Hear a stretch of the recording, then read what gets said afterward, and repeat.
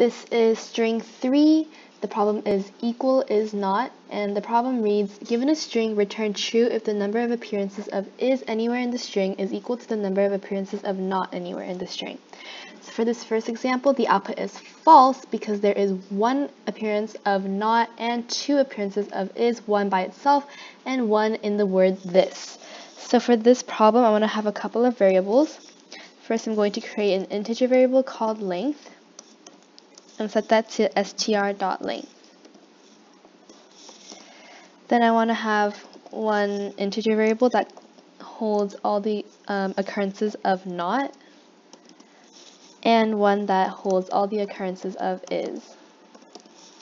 Then I'm going to run a for loop int i equals 0 i is less than length i plus plus and inside we're going to run if statement.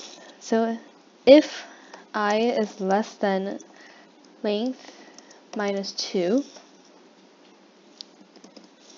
then we're going to make a string variable, call it temp, to temporarily hold str.substring i comma i plus 3. Now we're going to check if that temp is equal to the word not.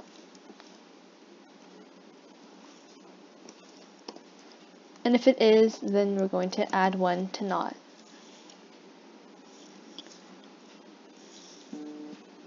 Then we're going to check for all the cases of if. So if i is less than length minus 1,